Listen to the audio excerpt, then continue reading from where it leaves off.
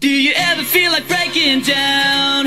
Do you ever feel out of place? Like somehow you just don't belong and no one understands you? Do you ever wanna run away?